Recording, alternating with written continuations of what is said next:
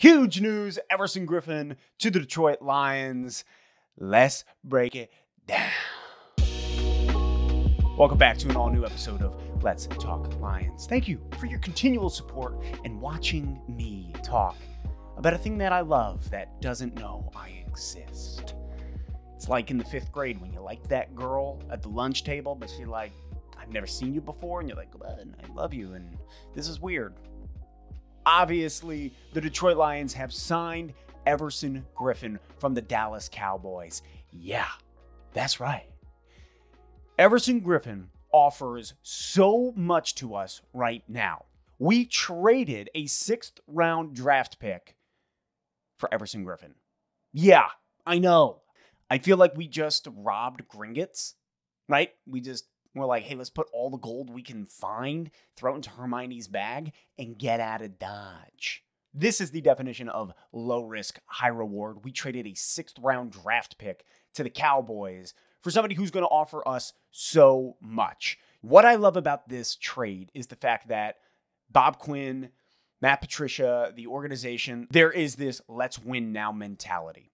We are in this clutch mode of all right, the team has come together, looking ahead at the schedule, and we're like, let's freaking win now. I am amped. I think this is going to play huge into our defensive scheme. What's nice is we signed him for this year and this year only. We'll see what happens by the end of the season. We'll see the the the part that he plays in our defense and if that's going to be something that we'll need again next year. But right now, this is a big sign. You look at what Everson Griffen's been able to do with Minnesota, with Dallas.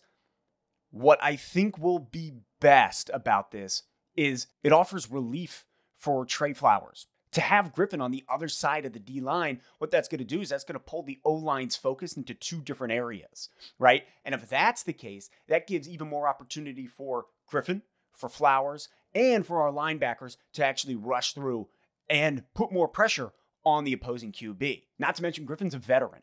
And with that comes his awareness. He is so aware. If you look at his gameplay, you look at film on him, the guy knows what's going on at all times. And I love it. I love that we're pulling in a vet to say, let's win now. The only bad news that I see in this whole thing is the fact that he is ineligible to play against Indianapolis. He won't be playing this week. However, his first game will be the following week against Minnesota. And it helps that he knows that regime, he knows the way they play. I love that. It will be vital against Minnesota. I wish he was playing this week. He is not. But alas, here we are. I am happy with this trade. Let me know. What do you think about the Everson Griffen trade? Do you think this is going to pan out well for the Lions, for our D line? Let me know and drop it in the comments. I'll see you next time.